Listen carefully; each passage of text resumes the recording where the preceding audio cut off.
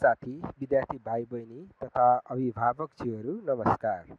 आज म कक्षा एक दुई र तिनमा अध्ययनरत विद्यार्थी अध्यापनरत शिक्षक र सम्बन्धित अभिभावकहरूलाई अति नै उपयोगी मोबाइल एप्सको बारेमा बताउन गइरहेको छु। मलाई आशा छ तपाईँहरूले यो भिडियोलाई अन्तिमसम्म हेरेर साथ दिनुहुनेछ। आउनुहोस् आजको विषयवस्तुतिर लागौँ। आज मैले जुन एप्सको बारेमा कुरा गरिरहेको छु त्यसको नाम हो रमाइलो पढाइ दिगो सिकाइ। रमाइलो पढाइ एप्सलाई आफ्नो मोबाइलमा डाउनलोड गर्नको लागि सर्वप्रथम मोबाइलको प्ले स्टोरमा जानुहोस्। त्यसपछि सर्च एप्स एन्ड गेममा गई रमाइलो पढाइ टाइप गर्नुहोस्। आरएएमए आइएलओ रमाइलो पिएडिएचएआई पढाइ टाइप गर्नुहोस् जसले रमाइलो पढाइ भन्ने आइसकेको छ। अब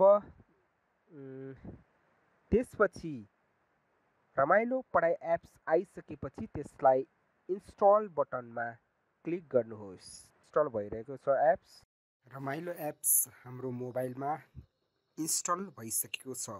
अब यसलाई हामी ओपन गर्न गइराखेको छ। गरौँ र हाम्रो गृह पृष्ठमा आइपुग्छ।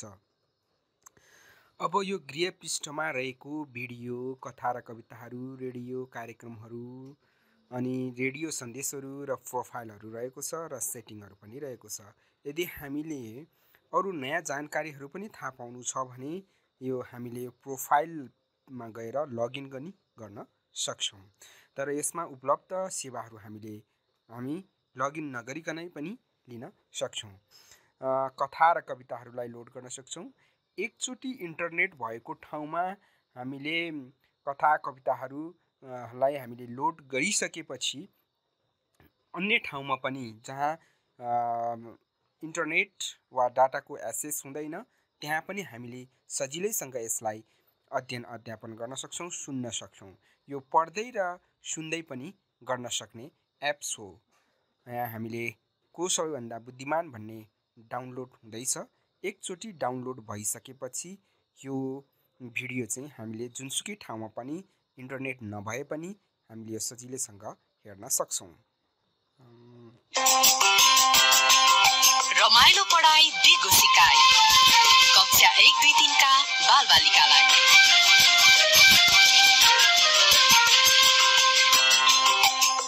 माछाले अक्टोपसको कुरो काट्दै भनेछ कथा पनि सुन्न सक्छौँ र यो कथा आइरहेको अवस्था।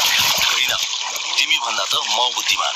तिम्रा त खुट्टा मात्रै धेरै छ। गोही किन पछि पर्थ्यो र? उसले पनि माछालाई उछिन्दै भनेछ तिमी भन्दा म ठुलो छु। त्यसैले मेरो गिदी पनि धेरै छ। तिमी भन्दा म नै बुद्धिमान छु। किनारको रुख त्यसै गरी हामीले अन्य कथाहरूलाई पनि त्यसै गर्न सक्छौँ। यसमा चाहिँ रेडियो सन्देशहरू छ रेडियो कार्यक्रमहरू पनि छ यसभित्र। विभिन्न रेडियो कार्यक्रमहरू राखिएको छ अनि त्यस्तै गरी रेडियो सन्देशहरू छ। यसमा चाहिँ विद्यार्थीहरूको लागि शिक्षक लक्षित सन्देश अभिभावक लक्षित सन्देश अनि समुदाय लक्षित सन्देशहरू पनि यहाँ उल्लेख गरिएको छ। हामीले यसलाई सजिलैसँग हेर्न सक्छौँ। यदि हामीले सेटिङ गर्ने हो भने हामीले भाषा पनि परिवर्तन गर्न सक्छौँ। एप्सको भाषा नेपाली भाषा पनि बनाउन सक्छौँ र इङ्ग्लिस भाषा पनि बनाउन सक्छौँ। यसमा भाषाहरू परिवर्तन गर्न पनि सकिन्छ नेपाली र इङ्ग्लिस। त्यसै गरी ने मिडियाको भाषा हामीले परिवर्तन गर्न सक्छौँ। अवधि बर्दिया कैलाली थारू भाषा भोजपुरी भाषा दाङ थारू टोटेली भाषा आदि भाषाहरू पनि मिडियाहरूलाई पनि हामीले परिवर्तन गर्न सक्छौँ। त्यसै गरी हामी यहाँ सन् शर्त र सन्देशहरू दिएको छ यसका गोपनीयता सम्बन्धी नीतिहरू दिएको छ यसलाई पनि हामीले अध्ययन गर्न सक्छौँ। हामीले ज अघि भन्यौँ पढ्दै र सुन्दै पनि गर्न सक्छौँ जस्तै कथा र कविताहरूमा हामीले अघि कक्षा एकको कथालाई हेर्दाखेरि यहाँ पिडिएफ एउटा फाइल दिइरहेको छ। यो पिडिएफ फाइलमा हामीले क्लिक गरेर पनि त्यो कथालाई हामीले डाउनलोड भइसकेपछि पढ्न पनि सक्छौँ। यसरी डाउनलोड भइरहेको छ। डाउनलोड भइसकेपछि को सबभन्दा बुद्धिमान भन्ने अघि हामीले सुनेका थियौँ भने अब हामी यसलाई पढ्न पनि सक्छौँ।